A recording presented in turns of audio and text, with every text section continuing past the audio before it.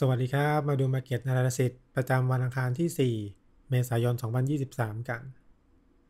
ตลาดช่วงนี้นะครับค่อนข้าง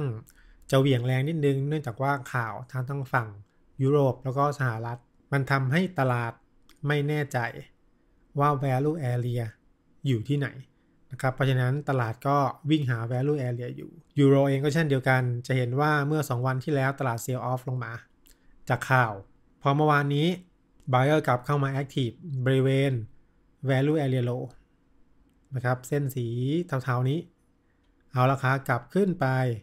ด้านบนอีกแล้ว เพราะฉะนั้น move นี้เหมือนกับไม่มีอะไรเกิดขึ้น ซึ่งเป็น move จากข่าวนะครับยังไงก็ตามตลาดยังติดอยู่ใน balance area ซึ่ง balance มาแล้วประมาณ 10 วัน เพราะฉะนั้นตามใดก็ตามที่ราคายังไม่สามารถเบรกแล้วโฮเหนือ initial return zone ได้ ยังมีโอกาสอยู่ที่เราจะเห็น seller กลับเข้ามา active รอบหนึ่งเนื่องจากว่าที่นี่เป็น good trade location สำหรับ seller เพราะฉะนั้นความคาดหวังว่าตลาดนั้นจะมี volatility สูง แบบ 2 วันที่ผ่านมาเนี่ย มันอาจจะจบลงภายในวันนี้นะครับยังไงก็ตามที ถ้าราคาสามารถเบรกแล้ว hold เหนือ initial return zone ได้ โดยเฉพาะอย่างยิ่งเหนือโซนนี้ซึ่งเป็น major resistance เราน่าจะเห็น buyer กลับเข้ามา active เพิ่มมากขึ้น แล้วนั่นก็จะหมายความว่า short term จะต้องเปลี่ยนจาก balance phase ไปสู่ imbalance phase ตลาดน่าจะ expand เดินขึ้นสู่ upside ได้ค่อนข้างดีนะครับโอเคเพราะฉะนั้นนี่คือยูโรปอนด์ดอลลาร์เองก็ไม่ต่างกันนะครับ เมื่อ 2 วันที่แล้วตลาด sell off กลับลงมา ซึ่งเมื่อวานนี้เราบอกว่ามันอาจจะกลายเป็น fail breakout pattern แต่พอเมื่อวานนี้ราคา back กลับขึ้นไปเหนือขอบบน ของ balancing area เก่า breakout pattern ก็จบไปนะครับ ตอนนี้ตลาดยังติดอยู่ใน balance เพียงแต่ว่าเรายังไม่รู้แน่นะครับว่า balance area ล่าสุดมันจะ develop อยู่ที่ไหน low นั้นเราค่อนข้างแน่ใจว่ามันอาจจะเป็นที่นี่ แต่ high ยังไม่แน่ใจนะครับ เพราะฉะนั้นวันนี้เนี่ยต้องดูว่าตลาดจะมีปฏิกิริยาอย่างไรกับ 2 โซนนี้ initial return zone แล้วก็ pre market resistance เพราะเราคาดการว่าที่นี่น่าจะเป็น balance area high ได้นะครับเพราะฉะนั้นถ้าเราเห็น seller active บริเวณนี้ เราก็น่าจะมี balance area ที่ค่อนข้างชัดเจนเพิ่มมากขึ้น นั่นก็คือกรอบนี้นั่นเองนะครับเพราะฉะนั้นคนต้องดูนะครับว่าตลาดจะมีปฏิกิริยาอย่างไรกับ 2 โซนนี้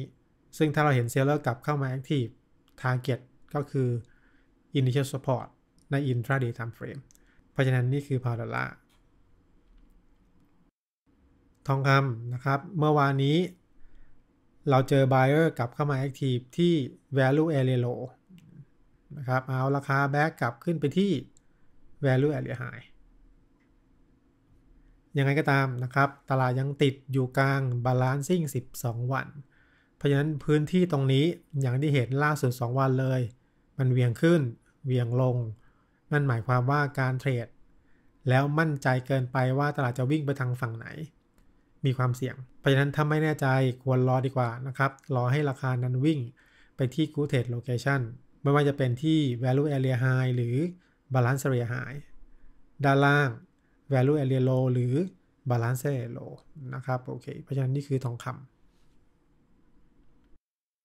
ดาวโจนส์เมื่อวานนี้ถึงแม้ว่าจะเซลล์ออฟหลังจากที่มีข่าวออกนะครับ ประมาณสักสามทุ่มตรงนี้เซลล์ออฟกลับลงไปค่อนข้างแรง แต่ก็อย่างที่เห็น ตลาดยังเบรกลงไปใต้ไฮของวันก่อนหน้าไม่ได้ด้วยซ้ำนะครับ เพราะฉะนั้นถึงแม้ว่าจะเซลล์ออฟลงมา แต่เป็นปฏิกิริยาชั่วคราวจากข่าวนะครับหลังจากนั้นบ u y e r กลับเข้ามาแอคทีฟราคาปิดที่ไหน ที่ High of the day นั่นหมายความว่า buyer นะครับยังคง control market อยู่ค่อนข้างชัดเจน ไม่ใช่เพียงแค่นั้นเมื่อวานนี้เรามี medium time frame balance area high อยู่ที่นี่ พอราคาเบรกปุ๊บ เท่ากับว่า medium time frame จะต้องเปลี่ยนแล้วนะครับ เปลี่ยนไปเป็น imbalance phase นะครับเพราะฉะนั้น short term medium term เป็น imbalance up ทั้งคู่ การเทรด short side ถือว่ามีความเสี่ยงนะครับแต่ไงก็ตามที หลังจากที่ตลาดเบรกออกมาจาก balancing 5 วันนี้ ตลาด expand range ค่อนข้างไกลมาก แล้วยังไม่ได้พักเลยนะครับเพราะฉะนั้นวันนี้เนี่ยคงต้องดูว่าจะถึงเวลาที่ตลาดจะพักแล้วหรือเปล่า ถ้าราคาไม่สามารถเบรกขึ้นไปเหนือ initial volume zone ได้มีสิทธิ์ที่ตลาดอาจจะ balancing อยู่ในกรอบประมาณนี้ ซึ่งไม่ควรจะกว้างมากนัก นะครับ เพราะว่า range มันกว้างมาแล้ว 2-3 วันติดๆ เพราะฉะนั้นมีสิทธิ์สูงที่ตลาดจะกลับเข้าสู่ balance phase เร็วๆนี้ แต่ยังไงก็ตามทีนะครับ อย่างที่บอกไว้ short term medium term เป็น imbalance up ทั้งคู่ การเทรด short side มีความเสี่ยง เทรด long side น่าจะปลอดภัยมากกว่า โดยเฉพาะอย่างยิ่งถ้าตลาดนั้น pull back กลับลงมาหา support zone ได้ล่างๆนะครับโอเค เพราะฉะนั้นทั้งหมดนี้คือ Market Analysis ประจำวันนี้ยังไงก็ตามก็หวังว่าจะมีผลการการเทรดที่ดีเหมือนเช่นเคย สำหรับวันนี้ขอบคุณครับ สวัสดีครับ